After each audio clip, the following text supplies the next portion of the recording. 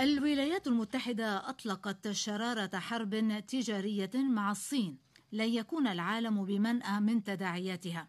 كما أطلقت روسيا شرارة الحرب لإعادة درعا والجنوب السوري إلى سيطرة القوات النظامية التي وصلت طلائعها إلى معبر نصيب على الحدود مع الأردن والتي لن تكون تداعياتها محصورة.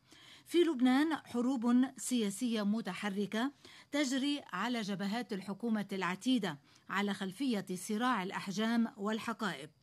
فالتصعيد بين القوات والتيار أخرج إلى العلن تفاصيل تفاهم معراب وما تضمنه من اتفاق على تقاسم الحقائب الوزارية والإدارية في مقابل تسهيل عملية انتخاب الرئيس ميشيل عون.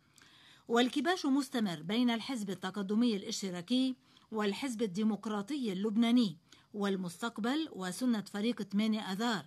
في وقت يستكين مربع التأليف في ظل أفق مقفل بالعقد والمطالب الداخلية والمخاوف الدولية من أن يكون مطلب حزب الله بالحضور الوازن في الحكومة العديدة مقدمة لأن تكون له اليد الطولة في السلطة التنفيذية والإمساك بوزارات حساسة لا يستسيغها المجتمع الدولي.